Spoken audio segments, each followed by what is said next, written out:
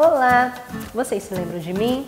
Sou a professora Juliana, da Rede Municipal da Prefeitura de Itapevi e estou de volta para transmitir novas sugestões de atividades para vocês, alunos da EJA. Lembrando que essas atividades vocês vão encontrar no link Lição de Casa no site da Prefeitura. Vamos começar?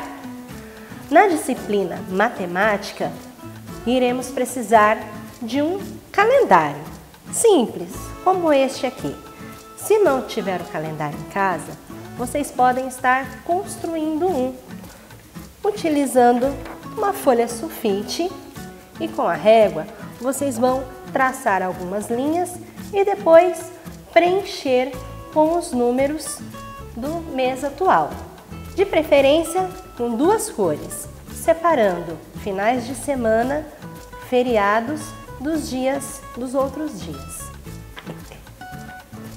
Em seguida, nós vamos estar registrando no caderno algumas informações referentes ao calendário, como por exemplo, quantos sábados e domingos tem esse mês, é, qual é a quantidade de dias do mês no total e se tem feriado, quantos feriados e quais os feriados.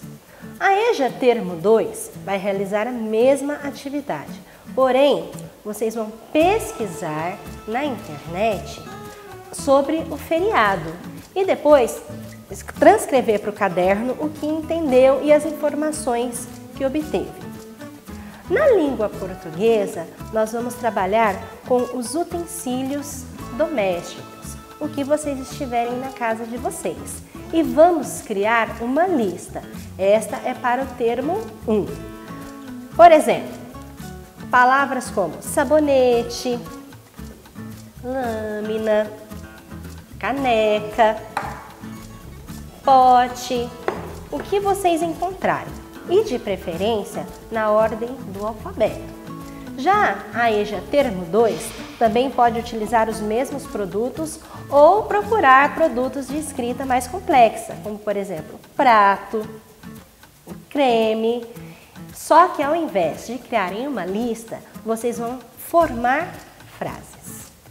O quanto vocês acharem necessário. Sempre registrando no caderno, não se esqueçam. E para finalizar, a última proposta, nós vamos trabalhar com a localização.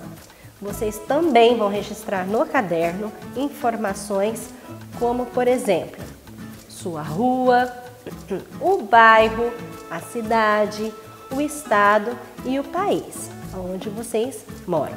Esta serve para EJA termo 1 e também para o termo 2. Lembrando que essas atividades vão estar no link lição de casa, no site da prefeitura e, se vocês gostarem, compartilhem esse vídeo com seus amigos e conhecidos. Não se esqueçam que apesar de estarmos em casa, a higiene continua sendo algo muito importante. É isso aí. Até mais, espero que gostem.